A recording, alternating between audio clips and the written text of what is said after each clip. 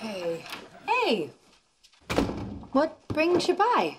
I needed to talk to you guys. About? Last night at dinner, Gregory proposed to me.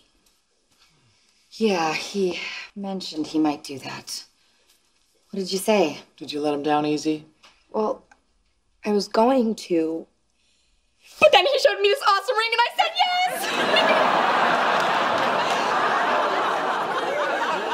I am going to be Mrs. Gregory Munchnik. Hello. Your daughter just got engaged. This is good news. Yeah, sure, it's good. if this is what you want. Why wouldn't it be? God, my housekeeper was happier for me than you two are. Honey, this is a big step. We just want to know that you've thought this through. Yeah, is this the guy you're gonna be with forever? Well, I doubt it'll be forever, but for a first marriage, he's pretty perfect. Come here. I'm just worried you're marrying a man you're not really in love with. Were you in love with Baxter or my dad? Yes. And how did that work out for you? Sometimes I just hate this kid.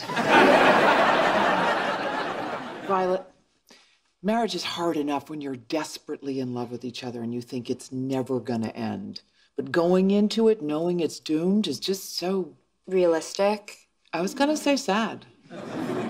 What is so bad about this? I have someone who loves me and wants to take care of me, and it's good for you guys because I'm no longer a problem for you anymore. Violet, you were never a problem. Yeah, we say all the time how much we love you. Space, space. Trust me, I know what I'm doing.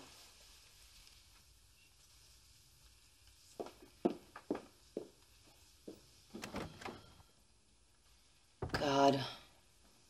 You have to let her live her life. She's a grown woman. Mom, Roscoe threw out all my teddy bears. Now we know what to get her as a wedding gift. Thank you.